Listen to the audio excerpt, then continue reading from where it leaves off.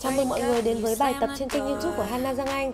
Bài tập ngày hôm nay là bài tập kháng lực dành cho những người chưa tập bao giờ lần đầu tập. Vì thế Hana sẽ hướng dẫn rất là kỹ tất cả các kỹ thuật Và đảm bảo là các bạn có thể tập theo được.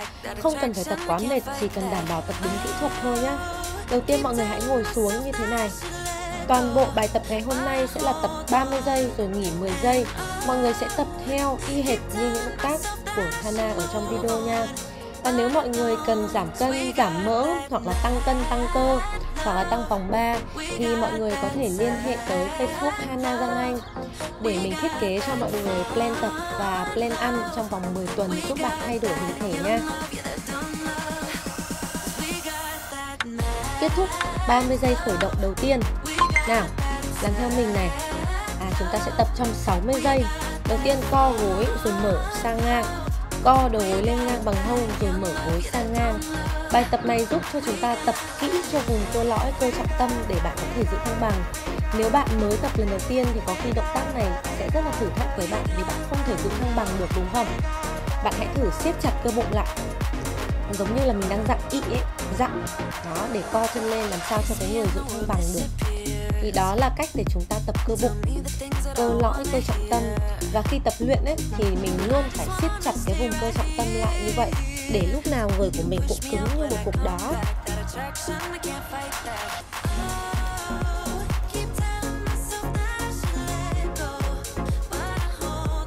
Mỗi một động tác sẽ thực hiện hẳn 60 giây để cho mọi người có thời gian tập theo. Không cảm thấy bị nhanh và bài tập chỉ tập trung vào chú trọng tập kỹ thuật thôi đừng có từ tốn nhá. Rồi, nghỉ 20 giây giữa mỗi động tác. Mình sẽ minh họa cho động tác tiếp theo ấy. Mọi người chuẩn bị nha. Hai chân mọi người sẽ mở rộng hơn vai, mũi chân hướng ra ngoài. Nhìn thấy không? Hướng mũi chân ra ngoài nha. Hai tay chúng ta chống hông, xoay vai về phía đằng sau và nhớ siết chặt cơ bụng lại. Bắt đầu ngồi xuống thật chậm, cho mông thấp hơn đầu gối. Từ từ thôi. Rồi các bạn đạp gót chân và đứng thẳng lên vị trí ban đầu khi ngồi xuống, các bạn hãy đẩy mông về phía đằng sau. Người tạo thành một đường thẳng, cố gắng siết bụng lại và đạp gót chân để đứng lên. Chậm chậm thôi. Ở bài này chúng ta đang tập cho vùng cơ mông và cơ đùi. Và gần như tất cả các bài tập thì sẽ đều có động tác này. Thế nên động tác này là động tác đầu tiên các bạn cần phải tập khi mới bắt tay vào tập luyện. Squat nữ hoàng của các bài tập mông. Squat còn làm cho mình khỏe cơ mông cơ đùi. Và cái phần cơ thân dưới là một cái nhóm cơ trọng yếu của cơ thể, giúp cho mình trụ vững này, giúp cho mình đi lại này. Và nếu tập bài thân dưới thì nó cũng đốt nhiều calo. Đó, nên là mình phải tập kỹ thuật của squat trước, làm chậm rãi thôi. Cố gắng ngồi xuống sâu, cho mông phải thấp hơn đầu gối, thì khi đó các bạn mới không bị đau đầu gối.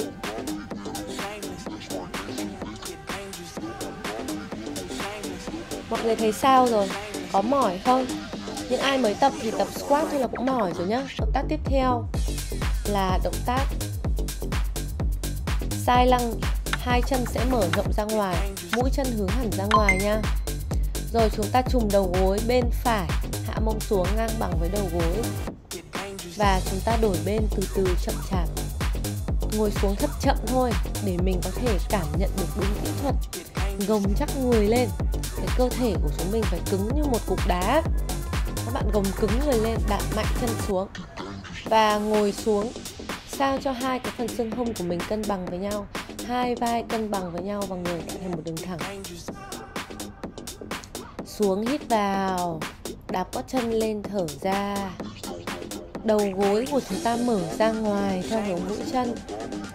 Khi tập động tác này có một số lỗi thường gặp là hai chân bị hẹp quá thì sẽ không làm được.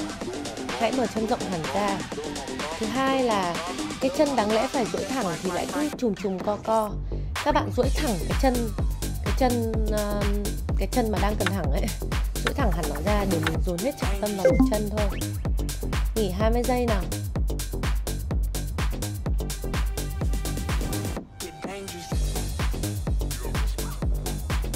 Mười giây nữa và chúng ta sẽ bước chân vào động tác lăng bước từng chân về phía đằng sau mọi người hãy vung chân một chút để khởi động kỹ cho phần hông trước khi bắt đầu vào bài tập. Bước chân trái của các bạn về phía đằng sau. Hạ đầu gối xuống sát mặt đất. Hơi ngả người về phía trước một chút. Khi xuống, chúng ta gập mạnh cái đầu gối, gập hẳn chân sau lại cho đầu gối gần chạm đất, cách mặt đất khoảng 3 phân thôi. Đúng rồi, các bạn làm chậm thôi để cảm nhận nhé cái mông sẽ trượt về phía đằng sau này và góc gối. Cái chân trước á, đầu gối sẽ thẳng với cả mắt cá chân gối thẳng góc 90 độ. Nói chung động tác này sẽ là một trong những nhóm động tác gập hông. Thì các bạn gập cái hông lại càng nhiều, nó sẽ càng vào mông của các bạn nha. Vì thế các bạn hãy gập cái phần hông, phần bẹn lại, trượt xương cụt về phía đằng sau nhiều vào, giống như là đang dùng mông để đóng một cánh cửa xuống hít vào và lên thì thở ra luôn siết chặt cơ bụng. Tốt giỏi lắm, mọi người ơi. Vậy là đã trải qua xong mấy động tác đầu tiên rồi. Gì chứ, những người mà mới bắt đầu ấy, thì như thế này đã rất là tiến bộ rồi. Cố gắng kiên trì nhá, mỏi thì vẫn làm. Đấy chính là tập luyện. Tập luyện là khi mình mỏi, mình vẫn tiếp tục á. Bước chân phải của mọi người về đằng sau, chúng ta sẽ đổi chân. Hạ đầu gối sau xuống sát mặt đất và hãy làm theo nhịp điệu của mình, chậm như mình này.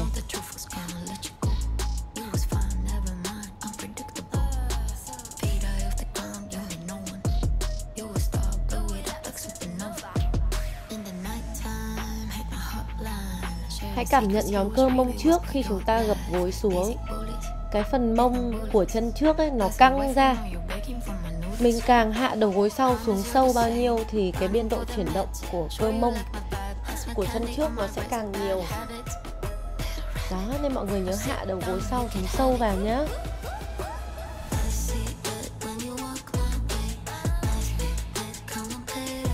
Hãy cảm nhận cái lực tác động lên cái khớp gối của chân trước. Nếu khi bạn xuống mà bạn cảm thấy cái lực nó tì lên khớp gối ấy, thì bạn sẽ cần đẩy mông về phía đằng sau nhiều hơn. Thì khi đó lực nó sẽ vào cơ mông chứ không vào khớp gối nữa. Mình dồn trọng tâm về phía trước thì nó dễ bị vào khớp gối hơn bắt đầu với những động tác tập cho khỏe tay và vai. Hai chân sẽ bắt đầu mở ra rộng bằng vai đứng ở tư thế squat trước.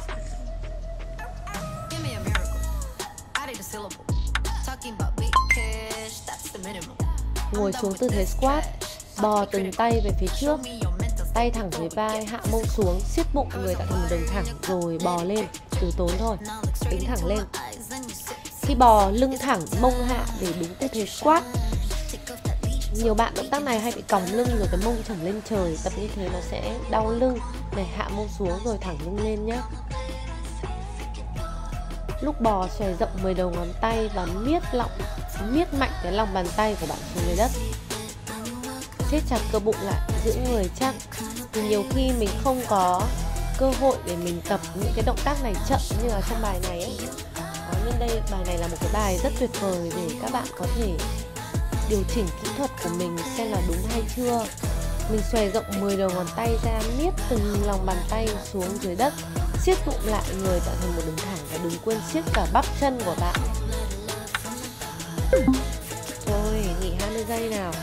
Trong lúc nghỉ, chúng ta hãy bò về phía trước để chuẩn bị cho động tác tiếp theo. Với động tác bò này thì hai đầu gối sẽ thẳng ngay dưới xương hông và cổ tay sẽ thẳng ngay phía dưới bả vai nhé lưng phải tạo thành một đường thẳng, tránh không bị phõng lưng. Dồn người về phía trước cho người tạo thành một đường thẳng. Ngồi về sau và dồn về trước. Theo nhịp fly pose rồi dồn người về trước. Khi dồn người về phía trước này, các bạn siết bụng để giữ cho cuộc sống tạo thành một đường thẳng.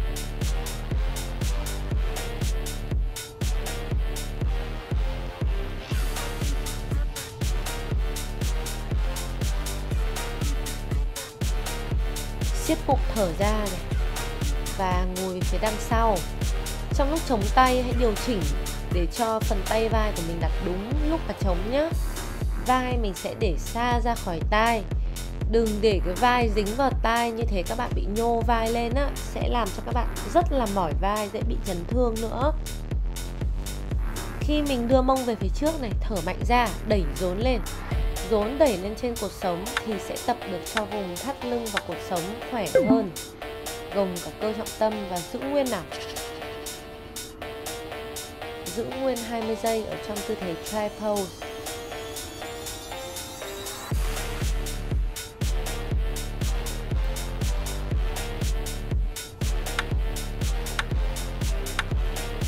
Đến với động tác tiếp theo, hai tay sẽ mở rộng bằng vai, đưa tay trái lên trời và hạ tay xuống.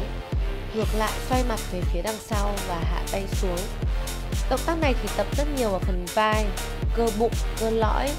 Nó làm cho bạn phải giữ thăng bằng. Hãy nhớ là không có động tác tập nào mà nó làm chúng ta giảm mỡ. Tập luyện chỉ làm cho cơ thể của chúng mình khỏe lên. Và những cái động tác nào tập vào nhóm cơ nào thì nhóm cơ đó sẽ to lên và khỏe lên chứ tập luyện thì không giúp cho chúng ta giảm mỡ nha. Mình cần phải kết hợp với một chế độ dinh dưỡng đúng thì mới có thể giảm mỡ được. Khi nâng tay lên thì chúng ta sẽ xoay cả tay, cả người cùng một lúc. Ở động tác này một lỗi sai thường gặp là mình sẽ đưa tay lên trước, xong rồi mình mới xoay hông. Như thế cái người của mình nó sẽ bị tách ra làm hai nửa. Bây giờ hãy tưởng tượng người của bạn là một khối thống nhất với nhau. Và khi bạn nâng tay lên thì cả khối đấy cùng xoay hết rồi. Giỏi quá. Có bạn nào bị mỏi tay không? Khi mới tập thì cái đoạn vừa rồi nó chống nhiều liên tiếp, rất là dễ bị mỏi tay và mỏi vai. Nhớ với các động tác chống tay thì vai phải đẩy xa tay. Khỉu tay hơi hướng về phía đằng sau, về phía chân ấy. Ép khỉu tay lại thì khi đó các bạn sẽ siết được phần cơ ngực. Chống đẩy nào. Hạ ngực xuống giữa hai tay khỉu tay hướng về phía đằng sau.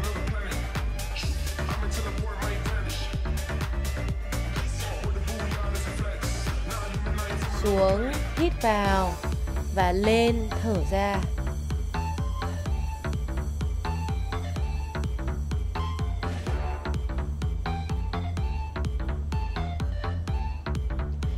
Khi chống xuống ấy chồm người về phía trước mình biết là có nhiều bạn khi mà mũi vượt qua đầu ngón tay trồm người về trước và chống xuống thì sẽ không chống lên được. Thế nên là các bạn cứ kiểu dồn dồn người về phía đằng sau ấy. Nhưng mà không với động tác chống đẩy ấy mũi của mình phải vượt qua đầu ngón tay dồn người về tay. Thì khi đó mình đẩy lên ấy, mới sử dụng rất là nhiều ở phần cơ ngực. Nếu tập đúng ấy, thì sau động tác này là cảm thấy cái ngực nó thăm lên rồi nó săn hẳn lên nhá.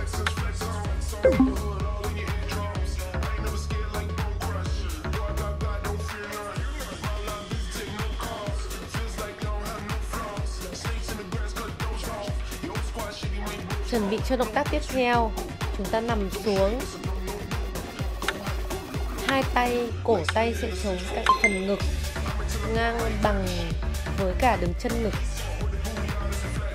Và ấn mạnh khỉu tay xuống, ấn mạnh cổ tay xuống, đẩy nâng ngực lên, thở ra, xuống hít vào.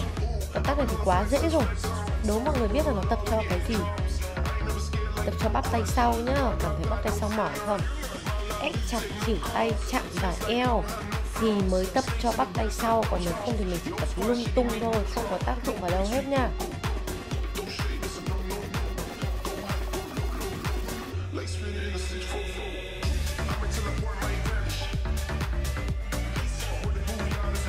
Hóp siết chặt quả mông lại để giữ cho phần thân dưới vững chãi.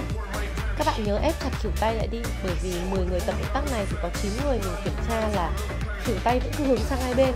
Mặc dù đã nói là phải ép thử tay lại rồi nhưng mà vẫn sai. Tại vì nếu mọi người tập đúng, mọi người sẽ không làm được động tác đấy. Nhưng phải như thế mới được. Tuần sau rồi mọi người sẽ làm được. Làm quen với việc tập đúng kỹ thuật.